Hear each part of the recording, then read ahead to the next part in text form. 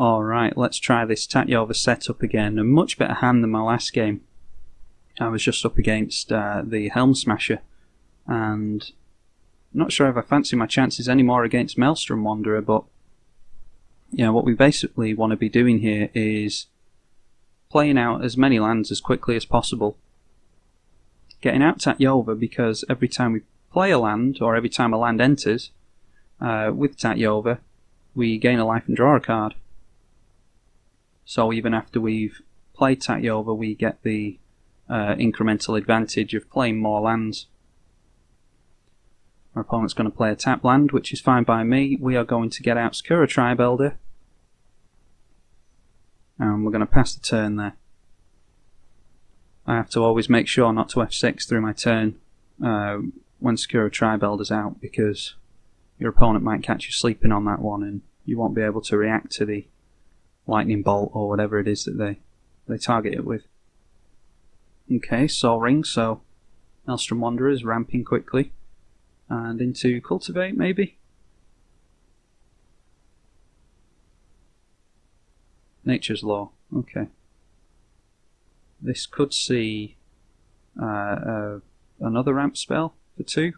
Ah, Sakura Tribe Elder, so we're just going to respond to the Sakura Tribe Elder. We'll get ourselves an island and probably go for. If we draw into another land, we'll play Azusa next turn and get two lands on the on the battlefield.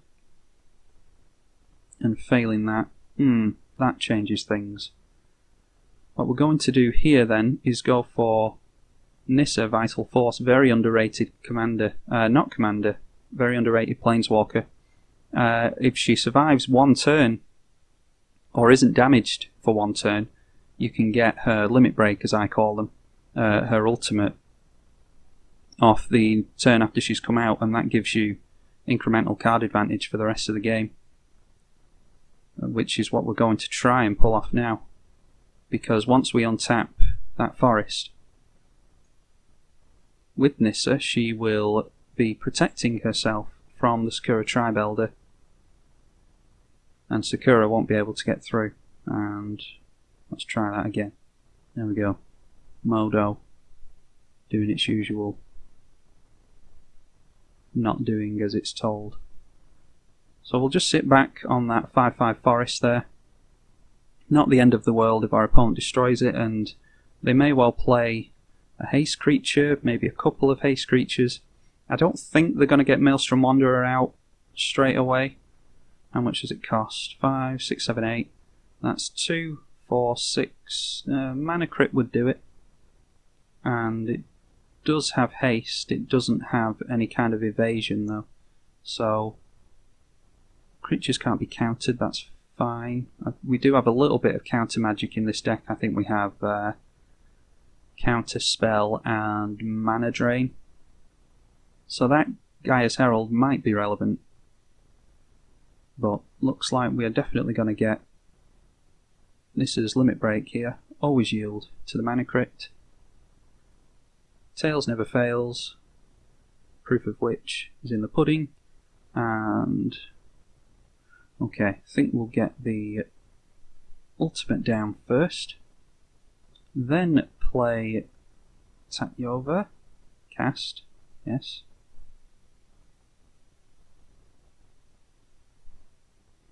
And then get to draw two cards from playing an island. Going to always yes. Actually, tell a lie. I don't like to always yes to card draw because our opponent might get um, Consecrated Sphinx out. Yeah, shame we don't have Azusa out. We could have played these lands. Uh, but yeah, this is really what we want to do with the deck. We want to get Tatyova out as soon as possible and then start playing lands. Uh, thankfully, with Nissa's Vital Force, um, the Nissa Vital Force emblem, uh, we can effectively have a, a, an unlimited, unkillable Tatyova in play uh, for the rest of this game. Opponent's going to cascade with Maelstrom Wanderer into Woodland Bellower. That's a very good card to cascade into. Most of the time, I just grab a Reclamation Sage with this. See what our opponent grabs. Yep, Reclamation Sage, probably going for, in fact, the only target is Mana Crypt there. At least saves us getting Lightning Bolted, so and Oracle of Daya, so more ramp. So this is what Maelstrom Wanderer can do so well, is ramp like crazy into Maelstrom Wanderer, and then if you kill Maelstrom Wanderer, it's probably ramped enough to just be played again and gains incremental advantage like that. Um,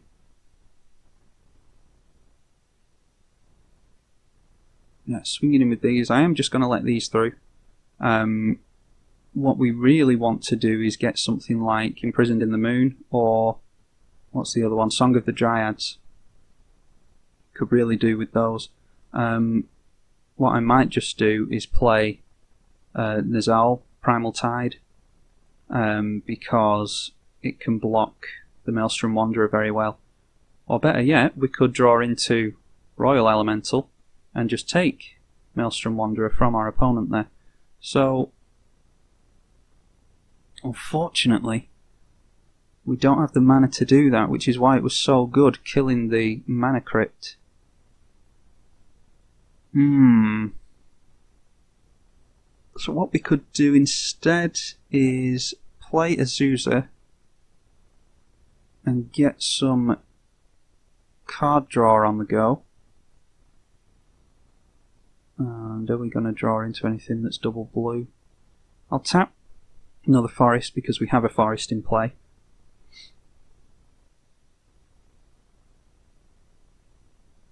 And hopefully our opponent lets this resolve and doesn't force of will or something like that.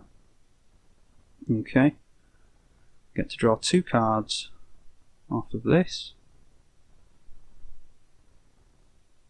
Pact of Negation is not terrible, although we can't counter any creatures with it.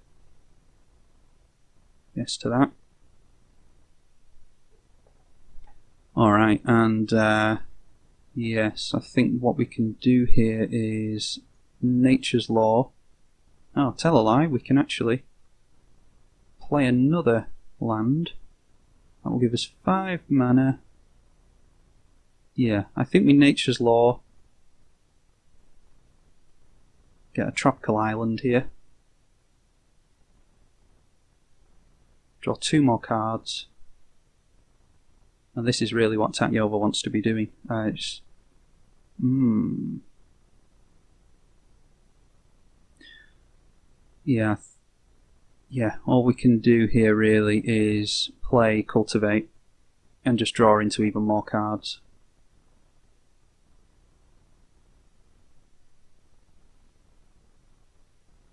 Good to have the Windswept Heath there with Crucible of Worlds. I don't know how likely we are to survive until next turn. Um, but we're at least not going to die to commander damage unless our opponent gets double strike or something like that.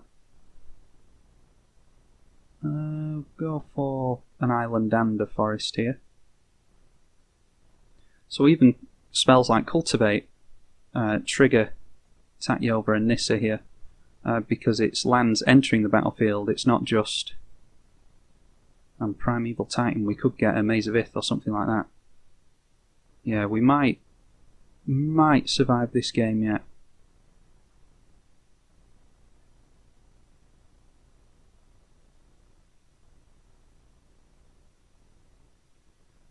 Not going to bother swinging into our opponent just in case we want to chump with Tatyova. And as for what we are putting into the graveyard, how many do we need to do? Uh, we can definitely get rid of Windswept. Uh, in fact, we can get, if we play Crucible next turn, we can just play all these lands. So, one more card in the graveyard. Hmm. Tempting to do Pact of Negation, but. Hmm. Because we can't counter creature spells, I don't think we want to do that. Chord of Calling, I really don't like to discard there. Um, but Pact of Negation will will get rid of something like uh, giving Maelstrom Wander a double strike, which would kill us with commander damage. So I really don't want to. Mana Crypt is fine. Really don't want to pitch the uh, the Pact of Negation into the graveyard there just in case.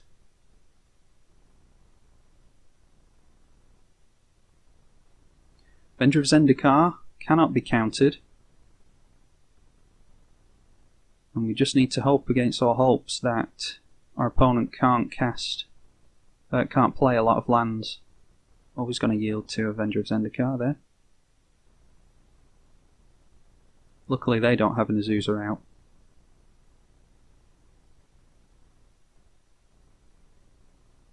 And I need to decide if I want to chump with Azusa or not. If I get Crucible of Worlds out next turn, I can play a lot of lands from the graveyard.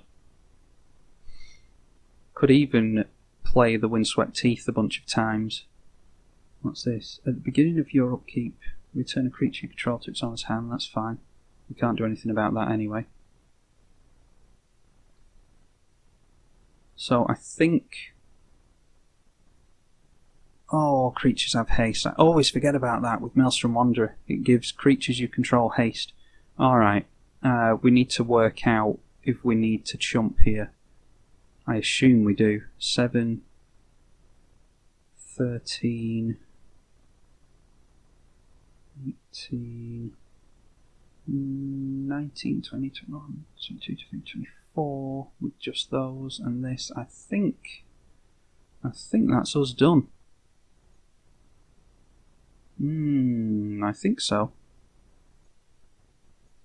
I'll just block the two biggest creatures and hope that we survive. I think we're done though. No, down to one, so it was worth uh, worth not giving up there. Alright, so that ancient tomb is largely useless to us. Hmm, what to do? Think we just need to get card draw on the go, to be honest.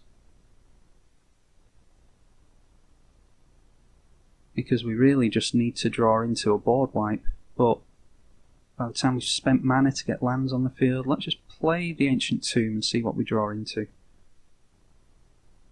Gush, okay. Uh,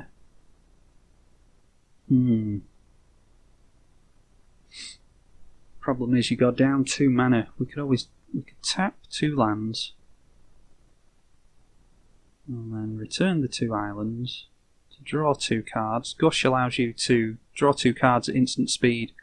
Um, you can return two islands you control to your hand rather than pay the mana cost. We drew into absolutely nothing there.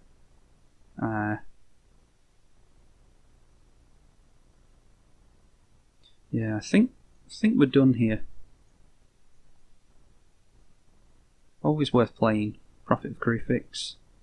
Uh, we can't play any more lands apart from with the Crucible. But we can't play any more lands this turn anyway, so I think that's us done. But I'm going out on my own terms. GG to our opponent. They were just too fast for us there. Uh, Maelstrom Wanderer, that's just what Maelstrom Wanderer wants to do, is outpace her opponent. It's only turn 6, and they have smashed us to pieces.